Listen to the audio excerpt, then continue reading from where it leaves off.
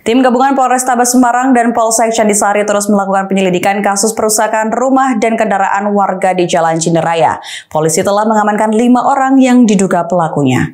Lima orang terduga pelaku perusakan rumah dan motor warga di Jalan Cinderaya, Kelurahan Jomblang, Kecamatan Candisari, Kota Semarang berhasil diamankan polisi. Kelima terduga pelaku diamankan berdasarkan keterangan saksi korban dan bukti rekaman CCTV. Aksi perusakan rumah dan motor warga tersebut dilakukan pada minggu pagi lalu oleh belasan remaja menggunakan senjata tajam. Berdasarkan bukti rekaman CCTV di lokasi kejadian, para terduga pelaku yakni Raf, Will, Paul, ANJ, dan seorang perempuan berinisial LL ditangkap di rumahnya masing-masing. Selain motif salah paham, polisi menduga ada motif lain yaitu asmara. Pasalnya korban dan beberapa orang pelaku saling mengenal. Saat peristiwa penyerangan terjadi, diketahui ada 18 orang remaja, lima di antaranya sudah berhasil diamankan dan sedang dimintai keterangan.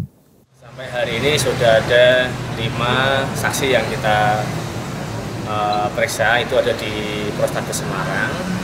Kemudian dari beberapa yang disampaikan, mungkin ada juga dugaan motif yang lain selain salah paham.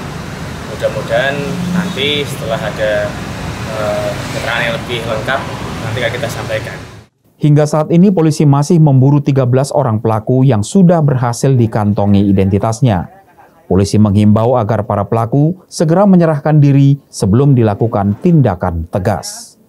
Dari Semarang, Kristadi, iNews melaporkan.